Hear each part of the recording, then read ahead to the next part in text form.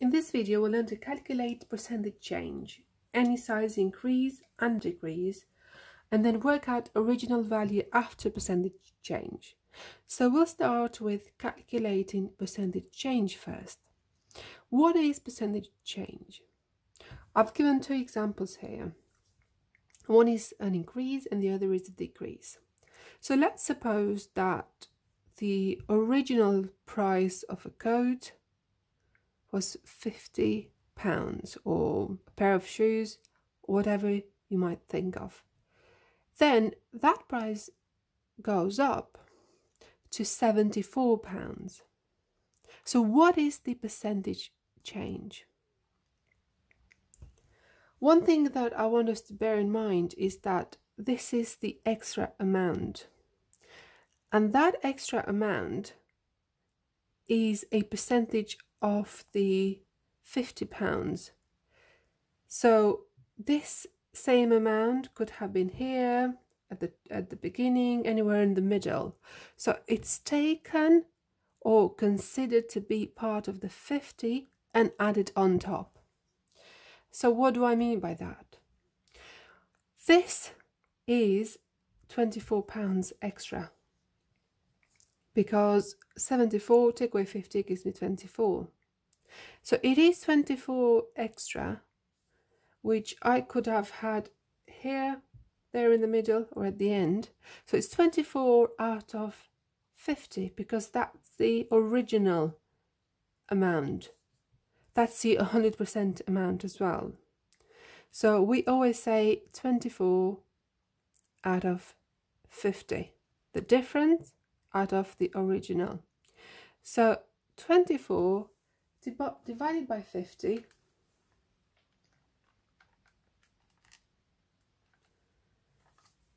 gives 0 0.48. So what's that as a percentage? It is 48%.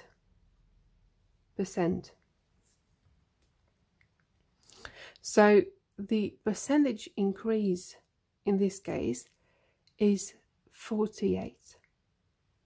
That's the percentage change as well. So it means the same thing. Now, what's happened is that here we have another scenario. So a pair of shoes costing 50 pounds, then it decreased. It went down to 42 pounds. So it's not 50 anymore, but it's 42. So what is that percentage change? We see it's changed, it's gone down. How much has it gone down by? It's gone by 8 pounds.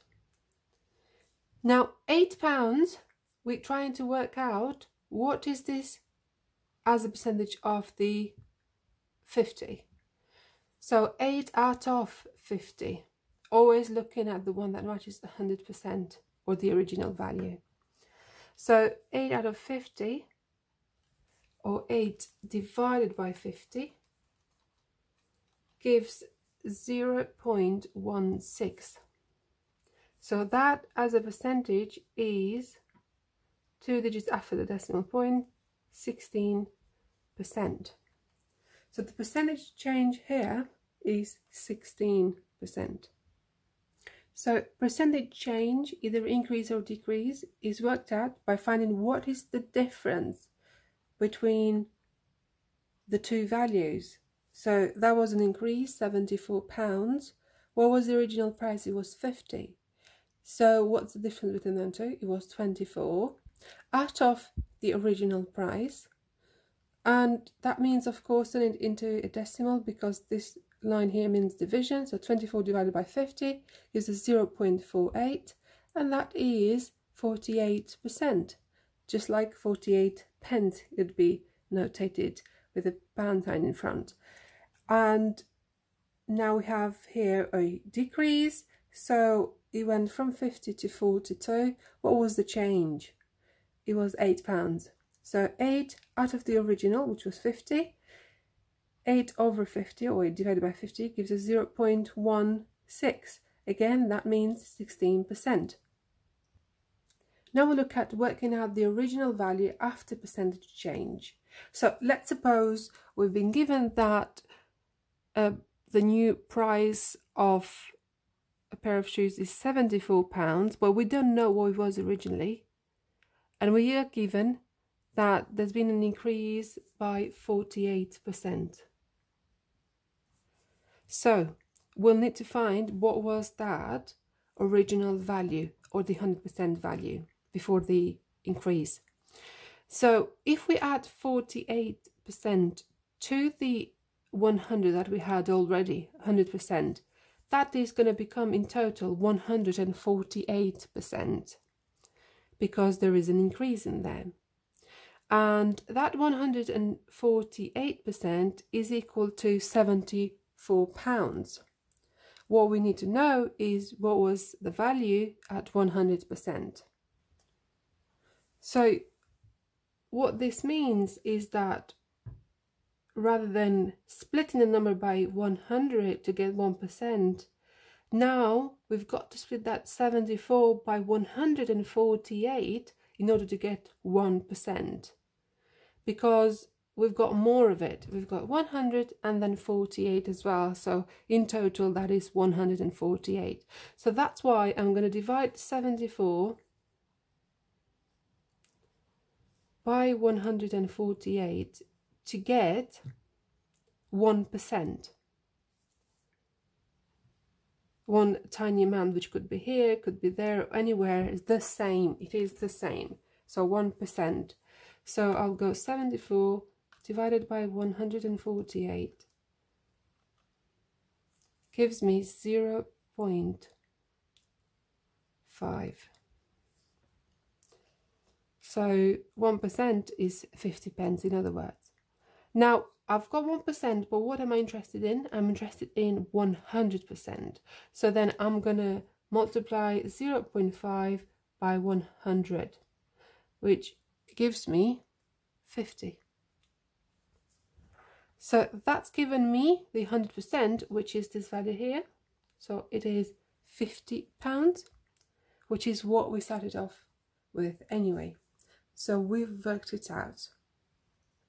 Now we'll do the same with the decrease. So let's suppose we know that the new price of a pair of shoes is 42 but what is the what was the original price so we don't know anything that we've worked out here we know that there's been a decrease by 16 percent so this must be equal to 84%, this point here. 42 must be equal to 84% because we've decreased this by 16% because you'd be given the percentage. If you're not given the original value, you'd be given what percentage it's gone by or down, uh, up or down. So what I, I will do is exactly the same thing that I did there. 42 pounds is 84%. So in order to get 1%, I'll divide this by 84. So that's going to give me one small slice, 1%.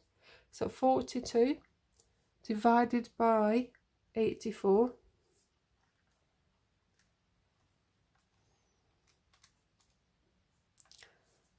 That gives me 0 0.5. So 50 pence is 1%. So 0.5 now, I need to work out 100%, so I'm going to multiply it by 100 to give me 50. So that's given me 50 pounds for it. So what we did now was trying to represent the new value. If it's increase, show it as an increase. What is the price? how many percent does it represent? And if it's an increase, it's going to be more than 100% because the original value is 100%. And then take that new value, divide it by how many percent there are in total. That's what we did. And that gives you 1%. That 1% then scale it up or multiply it by 100 to give you the original value. And exactly the same thing over here. we looked at what is the new price, how many percent does that represent? So divided, so new price over the percentage that it represents and that gave us how much 1% is and then again multiply by 100 to give us the original or the 100% uh, value.